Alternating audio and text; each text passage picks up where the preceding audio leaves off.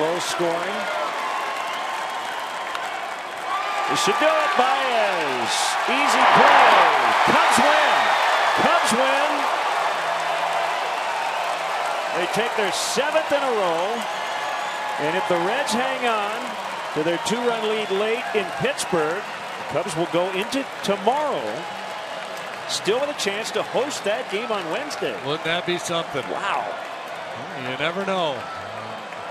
Like the Cubs' chances the way they've been going along. They'll face yet another rookie pitcher here uh, tomorrow. Kid up from Double A will make the start for the Brewers. Uh, tonight's game, Kyle Hendricks, brilliant, and Chris Coghlan offensively with a big night.